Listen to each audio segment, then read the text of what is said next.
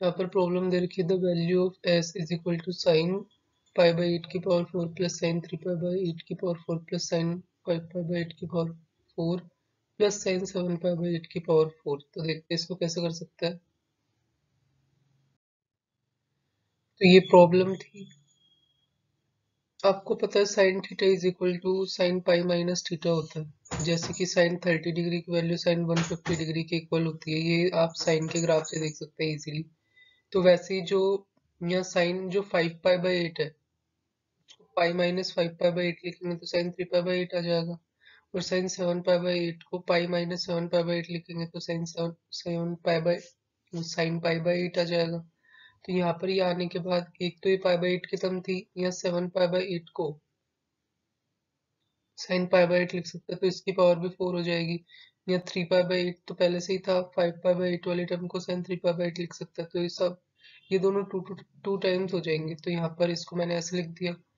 अब जो sine pi by eight की पावर फोर है, उसको मैं sine square sine pi by sine pi by eight का स्क्वायर का होल स्क्वायर लिख सकता हूँ, और यहाँ से आप देख सकते हैं, ये कुछ फॉर्मूला है कोस टू एंगल के, वो है कोस टू एक्स को cos square x minus sine square x लिख सकते हैं। Two x is equal to one minus two sine square x भी होता है। टू एक्स को two cos square x minus one भी लिख सकते हैं। टू एक्स को one minus tan square x divided by one plus tan square x भी लिख सकते हैं। ये आपने पढ़ा होगा। तो अभी ऐसे मैं साइन स्क्वायर एक्स की वैल्यू निकाल रहा हूँ।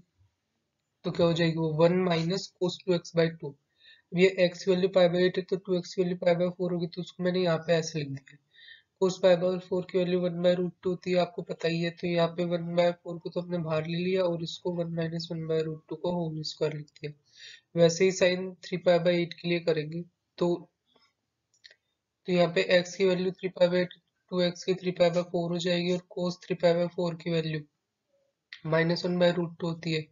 तो यहाँ पे सेम इक्वेशन बनेगी। बस यहाँ पर थ्री पाई बाई फोर आ जाएगा, जो कि तो माइनस माइनस मल्टीप्लाई होकर प्लस का वन बाई रूट टू आ जाएगा।